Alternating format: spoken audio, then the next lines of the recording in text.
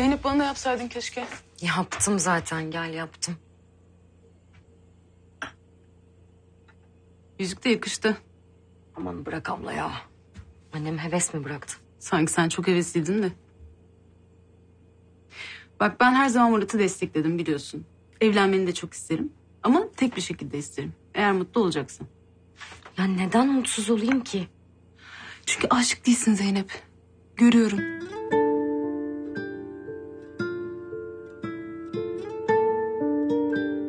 Ya Gülnaz ablanın ölümü, cenaze falan. Böyle durumlarda insan kendini güvende hissetmek istiyor. Ve ani kararlar alıyor. Bence seninki de öyle. Yoksa Murat sana ta ne zaman evlenme teklif etmişti? Niye şimdi kabul ettin? Güveniyorum ona. Ve Kenan Arcı'ya hiç güvenmiyorsun. abla ne alakası var Kenan Arca'yla? Ay Zeynep anlatmıyorsun diye biz de anlamıyor muyuz sanıyorsun? Ayrıca benim kalp gözüm teleskop gibidir. Yanılıyorsun.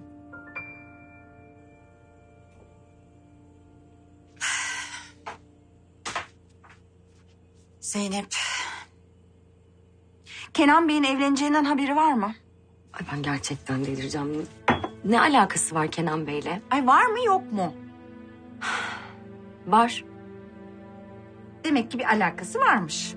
İyi. Türkan git o zaman bakkaldan koli falan iste de eşyalarımızı toparlayalım. Kenan Bey kur yapmak için ev satın aldığı kızın nişanlandığını duymuşsa herhalde burada yaşamamıza da izin vermeyecektir.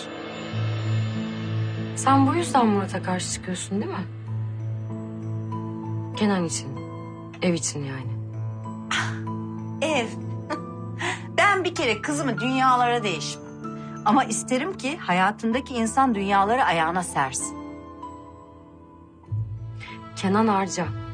Bu dünyada kalan son erkek olsa da ben ona o gözle bakmayacağım. Sözleşme olmasa şirkete gitmeyeceğim ben. Zeynep'ciğim Murat'la evlenmek istemiyorsan, aşık değilsen evlenme. O ayrı. Ay sonunda güzel bir şey duydu ya bu kulaklar. Çok şükür. Ama Kenan Arcı'ya ben de güvenmiyorum. Hayır sana bakışlarını gördüm. ilgisi var. Kesinlikle haklısın. Ama sonuçta erkek. Nihayetinde kendi dünyasından biriyle evlenecek. Ama bu erkeklerin hepsi aynı. Onlar dünyayı döner dolaşır giderler kendi köylerinden kız alırlar. Elif'ciğim. İyi misin?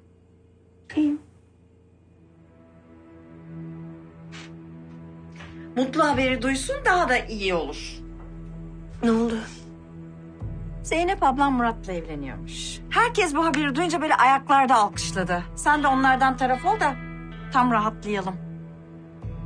Abla insan çocukluk arkadaşıyla evlenir mi ya?